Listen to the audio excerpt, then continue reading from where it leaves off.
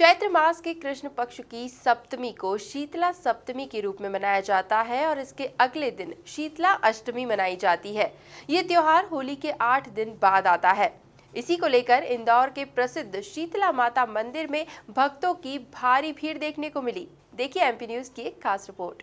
शीतला सप्तमी को लेकर सोमवार को इंदौर की प्रसिद्ध शीतला माता मंदिर में खासी रौनक देखने को मिली, जहाँ बड़ी संख्या में महिला श्रद्धालु शीतला माता की पूजा अर्चना करने पहुँची।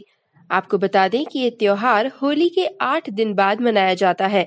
इस त्योहार में शीतला माता की पूजा की जाती है और उन्हें बासी खाने का भोग लगाया जाता है। इसके लिए सप्तमी की रात को बासी भोजन बनाया जाता है और सुबह शीतला माता की पूजा कर प्रसाद के रूप में ग्रहण किया जाता है।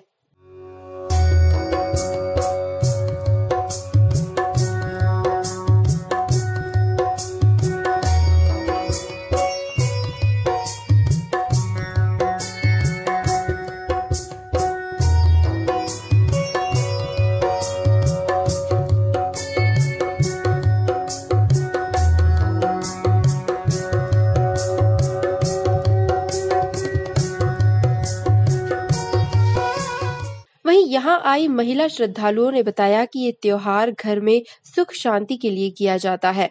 साथ ही इस दिन व्रत रखने और पूजा करने से व्यक्ति को चेचक, खसरा जैसे रोगों का प्रकोप नहीं रहता। पूजा घर और परिवार के लिए की जाती है। ठंडा बनाया जाता है ताकि बच्चों को कोई बीमारी या रोग नहीं होता। सभी सुख शांति बनी रहती है घर में, इसलिए ठंडा बनाया जाता है। आज के दिन ठंडा खाया जाता है और आज के दिन पूजा के गर्म कुछ भी खाने में नहीं लिया जाता।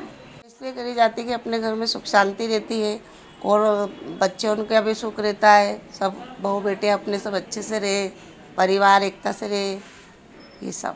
और माता जी की फिर दया बन जाती है अपने ऊपर। साल भर में एक बार सूर्य पृथ्वी पे ज़्यादा करीब आ जाता है, जिससे गर्माहट होती है, बीमारियाँ बढ़ती है और अभी भी बहुत सारे वायरस भी चल रहे हैं कोरोना वायरस से लोग कितने बीमार हो रहे हैं।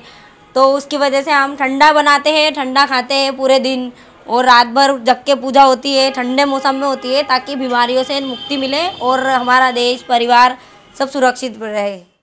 आपको बता दें कि ऐसी मान्यता है कि शीतला माता को ठंडी चीज़ें बहुत प्रिय होती है। इसीलिए शीतला सप्तमी और अष्टमी को ठंडी चीज़ों का भोग लगाया जाता है। Bureau report, MP news, Indore.